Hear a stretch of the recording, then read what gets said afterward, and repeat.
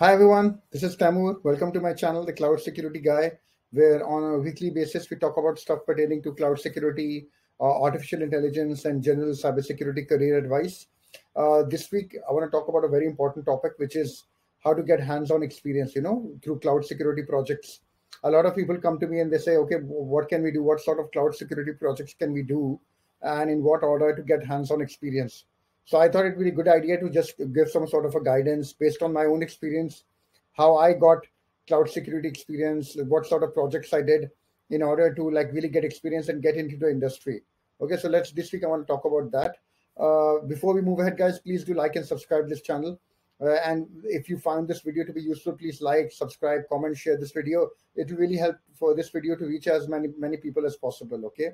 So just to taking a step back, guys, if you've been watching my earlier series on I've been covering all the certifications which are there on the cloud, right? And one recurring point I kept mentioning is to have hands-on experience. You need to do cloud security projects. You need to have hands-on experience. Hands-on experience will always be greater than any certification because certification will only take you so far. And without practical experience, you will face challenges in your career. Okay. But uh, the, the problem uh, a lot of people do face, like, okay, even if you agree with me, and you want to get cloud security experience, the problem which happens is uh, this one. If you've seen this meme before, I always find it funny. So you need to get experience, but to get that experience, you need a job, and you can't get a job because you don't have experience, right? So this is like the this is a very unfortunately it's a funny meme, but it's also a very uh, true true fact. So in order to get cloud security experience, you need to get a cloud security job, but you can't get a cloud security job because you don't have cloud security experience. So that is where the problem comes in. A lot of people come up to me and say, okay, how do we get this? Because employers are asking for cloud security experience and I don't have it. So this is what I want to focus on. I was in the same issue before also. I had the same issues. So I just want to tell you how I got actual hands-on experience without uh, having a full-time cloud security job. Okay. So the good good news is instead of waiting around like months for an employer to like uh, take a chance on you and say, okay, even if you don't have cloud security experience, I want to hire you you don't need to wait for that. I've listed on some simple steps uh, you can follow to get hands-on experience today. I mean, starting from today, uh, you can start getting cloud security experience. If you're new to the cloud, then follow these steps in sequence. Don't skip ahead without completing the previous one. If you get stuck in the technicalities of any of the steps, troubleshoot it yourself. Okay, don't give up. Here, the vast majority of cloud security experience and knowledge you will get, believe me, you will get through troubleshooting when you something doesn't work and you try to figure out why it's not working that knowledge which you get believe me you will never ever forget. And that will stay with you. And that is the experience which is going to help you out in your career okay? So don't just give up and say okay i'll get somebody else to do it. Or don't ask me. Try to do it yourself first okay? So first step will be guys please set up a cloud sandbox. What do i mean if you've heard the concept of a home lab right? Same thing. I want you to set up a cloud uh, sandbox where you can play around with the services in the cloud Thankfully, most of the providers already provide free services as they want users to try out their services, right? Before moving on to the paid offers. So most of the cloud providers which are there, like AWS, like Azure, like Google Cloud, they already have that. So it, AWS free tier, I mean, if you're not familiar, uh, uh, aware of it, it's a very famous, like it's a very common offering which they have. You can do, for, you can check out services free. Some services are 12 months free. Some are always free as long as you stay within a particular limit. Okay, it's very easy to set up. Just go up. Uh, they take your credit card information, but they won't charge you anything. Okay, and you can as long as you stay within the free tier. None of the things I'm going to be telling you are going to charge you anything. Okay, but just remember to stay within those limits. If you go to the page free tier, it'll tell you what are the limits, and usually they alert you also if something is about to happen. But you can easily set up a free tier AWS account. Um, apart from that, you have Google. Google does the same thing. Google have like they give you I think three hundred dollars credit for free for 90 days. Okay. So, I mean, you can check around Google Cloud. You can find out what's happening, what other things to do. Okay. Uh, so I think same with Microsoft Azure also. They give you like, I think uh, $200. I might be incorrect here, but they also give you like, so uh, there really is no excuse, guys. To, right from today, you can start experimenting on the cloud, get a hold of those services and start playing around with them.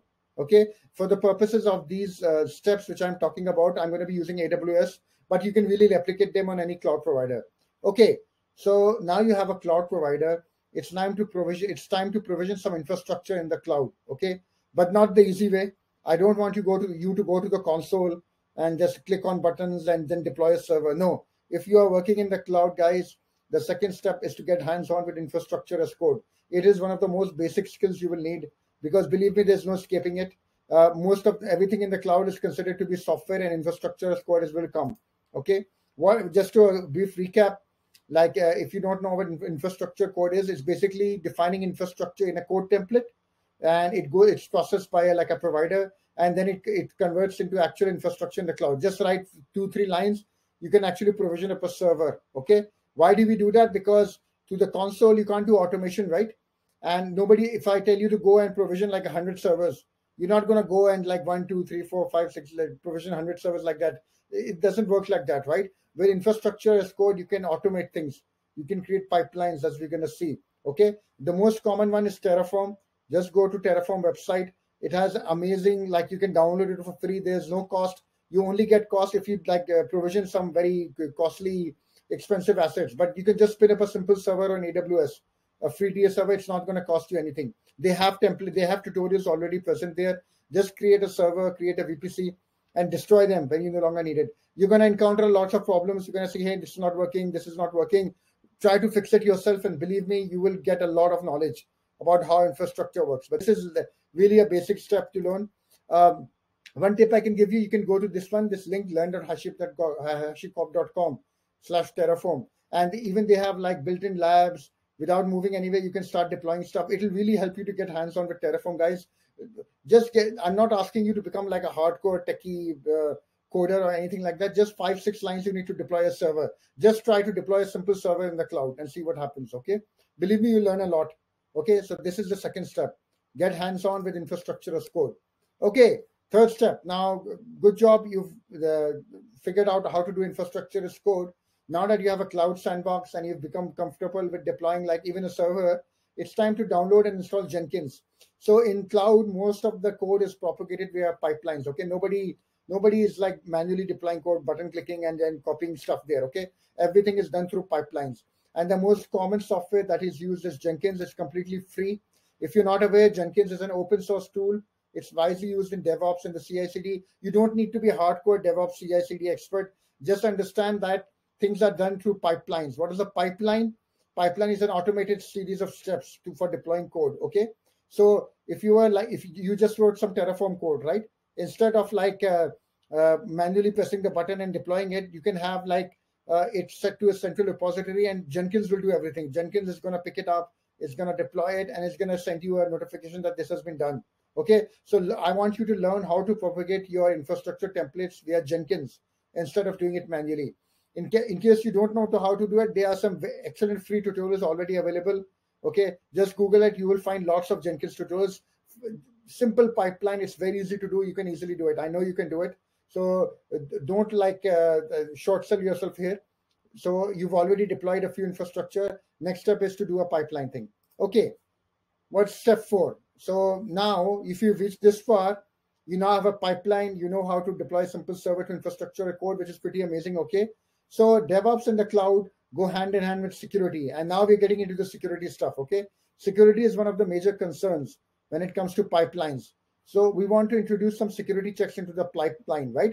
Uh, we don't want insecure code being propagated into the cloud, right? What if you've hard coded your user ID and password into Terraform and that, that just gets copy pasted into some like GitHub repo and all that, right? So you need to have some sort of thing there which will stop this from happening, okay? So Simply put, uh, one thing I can recommend easily, there are many commercial tools, free tools. The one I would recommend is using Checkov. Checkov is a static code analysis tool for infrastructure as code. It's going to scan your template. It's going to tell you if there are any insecure packages or images being used. Okay. It can be installed from the GitHub repo. You can simply point it towards, give it the path of your ISC template. It's going to scan it and it's going to tell you whether there's any like security flaws there. So it's very easy to do. Okay, that's a simple step. Downloading it and try to run it on your static, like uh, Terraform template, see what happens.